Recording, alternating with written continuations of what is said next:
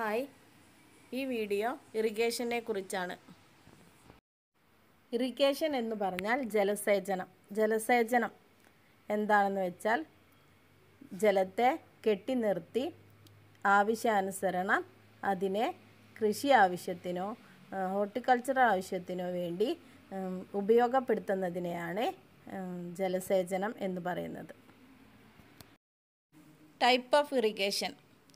ഇറിഗേഷനെ രണ്ടായി തരംതിരിച്ചിട്ടുണ്ട്. നേച്ചുറൽ ഇറിഗേഷനും ആർട്ടിഫിഷ്യൽ ഇറിഗേഷനും. നാച്ചുറൽ ഇറിഗേഷൻ എന്ന് പറഞ്ഞാൽ അതിനൊരു ഉദാഹരണമാണ് റെയിൻഫാൾ മഴ.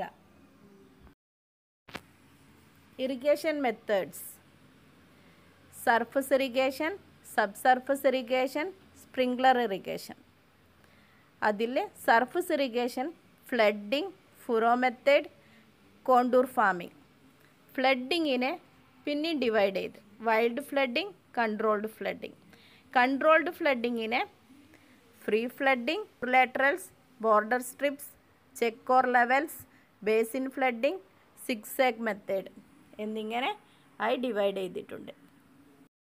ഇറിഗേഷനെ രണ്ടായി തരം തിരിച്ചിട്ടുണ്ട് ഫ്ലോ ഇറിഗേഷനും ലിഫ്റ്റ് ഇറിഗേഷനും ഫ്ലോ ഇറിഗേഷൻ എന്ന് പറഞ്ഞാൽ ഹയർ ലെവലിൽ വെള്ളത്തിനെ സംഭരിക്കുകയും അത് ഗ്രാവിറ്റേഷണൽ ഫോഴ്സ് വഴി ലോവർ ലെവലിലേക്ക് ഒഴുകി വരികയും ചെയ്യുന്ന ഇറിഗേഷനാണ് ഫ്ലോ ഇറിഗേഷൻ എന്ന് പറയുന്നത്. ലിഫ്റ്റ് ഇറിഗേഷൻ എന്ന് പറഞ്ഞിട്ടാണെങ്കിൽ ലിഫ്റ്റ് ചെയ്തെടുക്കാം. വെള്ളത്തിനെ പമ്പ് ഉപയോഗിച്ചിട്ട് ലിഫ്റ്റ് ചെയ്തിട്ട് എവിടേക്കാണോ ഇറിഗേറ്റ് ചെയ്യേണ്ടത് അവിടെ എത്തിക്കുന്നതിനെയാണ് ലിഫ്റ്റ് ഇറിഗേഷൻ എന്ന് പറയുന്നത്. ഫ്ലോ ഇറിഗേഷനെ രണ്ടായി തരംതിരിച്ചിട്ടുണ്ട്. Perennial ഇറിഗേഷനും flood irrigation on inundation irrigation അതിൽ പെർണിയൽ ഇറിഗേഷൻ പെർണിയൽ ഇറിഗേഷൻ എന്താന്ന് പറഞ്ഞാൽ ഒരു ക്രോപ്പിന് ആവശ്യമായ ജലം കോൺസ്റ്റന്റായ അളവിലും അതേപോലെ ത്രൂ ഔട്ട് അതിന്റെ ക്രോപ്പ് പീരീഡിലും ലഭ്യമാകുന്നുണ്ട് എങ്കിൽ ആ ഇറിഗേഷൻ പ്രോസസ്സിനെയാണ് പെർണിയൽ ഇറിഗേഷൻ എന്ന് പറയുന്നത്.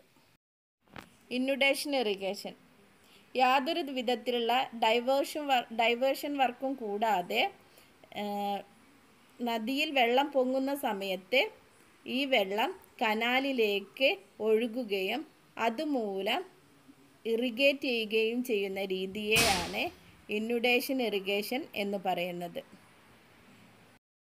വൈൽഡ് ഫ്ലഡിങ് വൈൽഡ് ഫ്ലഡിങ് എന്ന് പറഞ്ഞാൽ ഒരു ഫാം ലാൻഡിലേക്ക് ഫ്രീ ആയിട്ട് വെള്ളം ഇറിഗേറ്റ് ചെയ്ത് വിടാം. ഇത് ഏറ്റവും ചീപ്പാണ്. അതേ സമയത്ത് ഈ ഉപയോഗിക്കുന്ന ജലം എഫിഷ്യന്റ് ആയിട്ട് എല്ലാ ഏരിയയിലും ഒരേപോലെ കിട്ടുകയില്ല. Controlled flooding. ഇതൊരു സർഫസ് ഫ്ലഡിംഗ് ആണ്.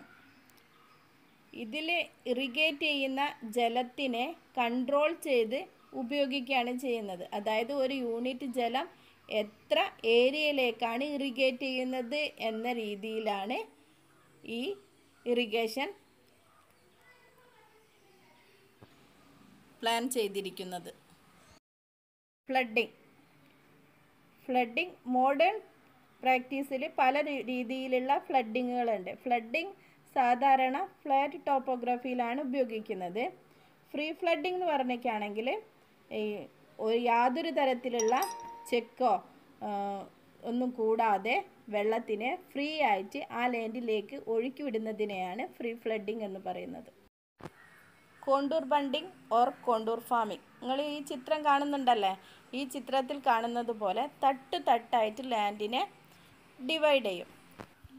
കോണ്ടൂർ ഫാ സ്ലോപ്പായ ഗ്രൗണ്ടാണ് ഉപയോഗിക്കുന്നത്. ഇത് സോയിൽ എറോഷനെ റെഡ്യൂസ് ചെയ്യാൻ വേണ്ടിയിട്ട് ഇത്തരത്തിലുള്ള ഫാമിംഗ് ഉപയോഗിക്കാം. ഇതൊരു കൺട്രോൾഡ് ഇറിഗേഷൻ ആണ്. ഇറിഗേറ്റ് ചെയ്യാനുള്ള ഫീൽഡിനെ ചിറ കെട്ടി സെപ്പറേറ്റ് ചെയ്ത് നിർത്തും. എന്നിട്ടാണ് ഇതിനെ ഇറിഗേറ്റ് ചെയ്യുന്നത്. ഇത് സ്ട്രിപ്പായിട്ടാണ് ഇതിനെ സെപ്പറേറ്റ് ചെയ്യുന്നത്. ഈ രീതിയെയാണ് ബോർഡർ ഇറിഗേഷൻ എന്ന് പറയുന്നത്. ഇതിൽ ജലം ഒരു ഭാഗത്തു കൂടെ കടത്തിവിടുകയും അതുമൂലം എല്ലാ ഏരിയയിലേക്കും വെള്ളം ഒഴുകിയെത്തുകയും ചെയ്യുന്ന രീതിയാണ് ബോർഡർ ഇറിഗേഷൻ ഫ്ലഡിങ് ഇത് ഹൈ പെർമിയബിലിറ്റി ഉള്ള സോയിലാണ് സ്യൂട്ടബിൾ കാരണം എന്താണ്? കൂടുതൽ സ്ഥലത്തേക്കും എളുപ്പത്തിലും വാട്ടർ സ്പ്രെഡ് ചെയ്യാൻ വേണ്ടിയിട്ട് സോയിൽ സഹായിക്കുകയും കൂടുതൽ ഡെപ്തിലേക്ക് ആഴ്ന്നിറങ്ങാനും സോയിൽ സഹായിക്കും. ബേസിൻ ഇറിഗേഷൻ ഈ ചിത്രത്തിൽ കാണുന്നത് പോലെ ഇറിഗേറ്റ് ചെയ്യുന്ന പ്ലാന്റിന്റെ ചുറ്റും ബേസിൻ പോലെ കുഴി ഉണ്ടാക്കി ഇറിഗേറ്റ് ചെയ്യുന്നതിനെയാണ് ബേസിൻ ഇറിഗേഷൻ എന്ന് പറയുന്നത്.